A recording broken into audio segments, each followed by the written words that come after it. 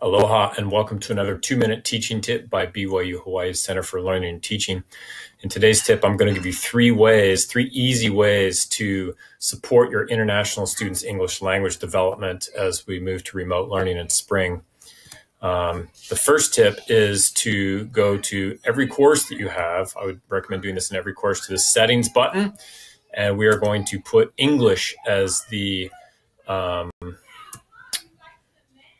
the language of use for Canvas. So here you can see this is the default here that the language is it's not set and the default is English, but students have the option to change it. And you might notice in your SpeedGrader that often other languages come up. That's because your students are using Canvas in their native languages.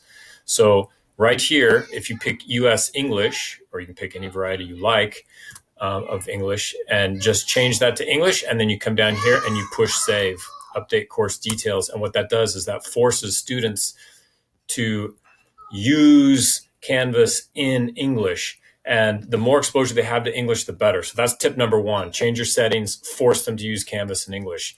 Tip number two is um, when you have a rubric that you use for an assignment, always include a language component to it, no matter how small that component is. So you can see here, I've got a rubric for this assignment here where students are um, writing a description of their city. It's just a paragraph to write a description based on response to a reading.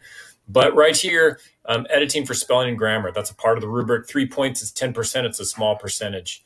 Um, so number two is anytime you have a rubric, no matter, um, make English a part of that rubric, no matter how large or small percentage. Even one point, just say your rubric can be really simple. It can say, I understood your English, or it was really difficult for me to understand your English. And they get one point or they get zero. It can be that easy for an assignment. My third tip is right here. Go in when you edit your assignment. Um, if they're submitting any kind of a written assignment, always, always, always turn on the plagiarism review. And it's right here. It defaults to none. This is where it usually is when you first see it. It says none. Um, turn it on and flip it to Turnitin right there. Um, and then there's a bunch of other settings inside and you can play with those as you want. But what this does is this will give a Turnitin score and you can see if students are copying text from other places, from other students. Um, you can even see if everybody uses it, you can see if they're copying um, submitting their a single assignment to multiple classes from multiple teachers. It'll show you any copied text from the web or from any digital text that you might present in your class. If you are using digital text, they can copy and paste things into their answers.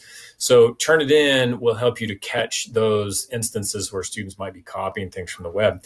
So forcing students to write in their own words is an excellent way to push students to increase their English proficiency. So there you go. Those are the three tips. Force them to use English in Canvas. You make sure you include English as a part of any um, rubric that you put on, and um, always turn Turnitin on for every assignment. Aloha and happy teaching.